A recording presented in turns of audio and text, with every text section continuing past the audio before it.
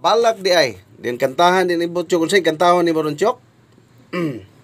Natuli na. Natuli na. So ang balak ni Manoy Huring ah patayng kagahapon.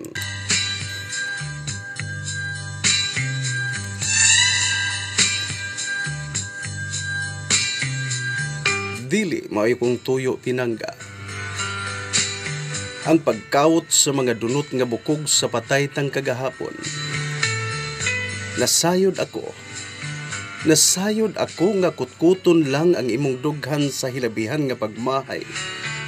Ug dili ako buot nga ang malangog nga inalisbo sa kagahapon tang patay. Manglusot lahos sa mga katuigang nga tunas. aron maoy musudya sa imong kabangis ug kabanyaka. Apan wa og di gyud ako malimot kanimo mahal ko. Hangtod karon Lunhaw pa kaayo sa akong panumduman. Kadtong mga gabi diin atong gisawan pagdimdim ang makahubog nga alak sa duha ta kagugma.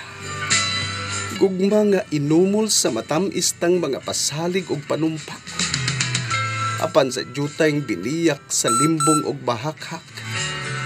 Matunaw lamang di ay sa pipila katulo sa mapait kong mga luha. Oh, dili ako malimot.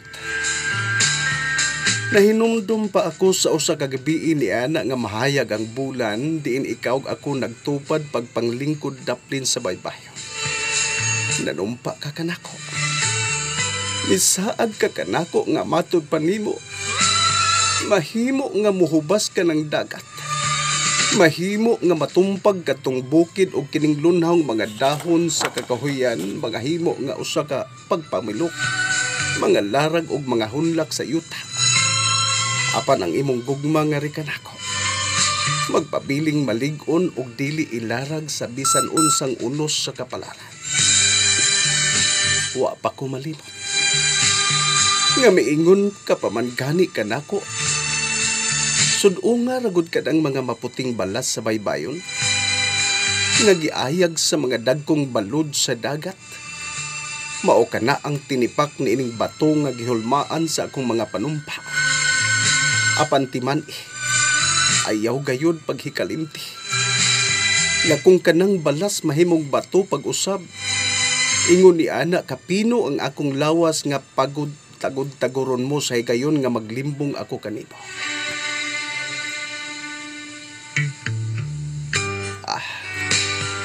Pagkanindot bang handumon ni adtong maumong mga pasalig.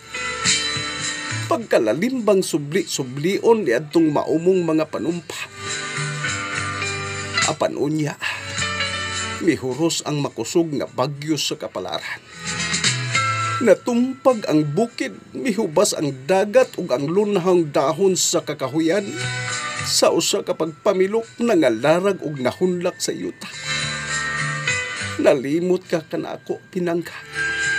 Nalimot sa imong mga saad ug panumpa. Nga ikaw ug ako magkuyog ngadto sa tiilan ni Batala.